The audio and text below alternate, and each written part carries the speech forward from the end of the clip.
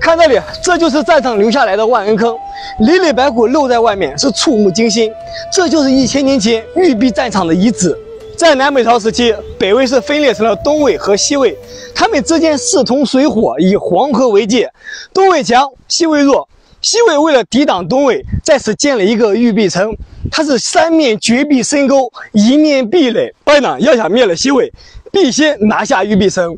公元五十六年，东魏的高欢率领十万大军来攻玉璧。守城的西魏将领韦孝宽，虽然兵力是不足一万，但是防御得当，让高欢是望而却步。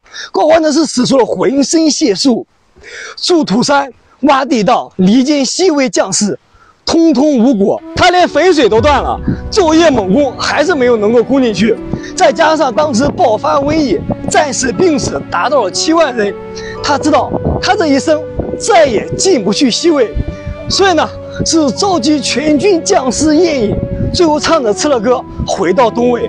回去之后第二年，他也病死。一将功成万骨枯，高欢虽是病死，但是死在了故土家乡，死有所葬。但是这些人，他们又是谁的丈夫、谁的妻子、谁的儿子？只剩下了累累白骨叠加在一起。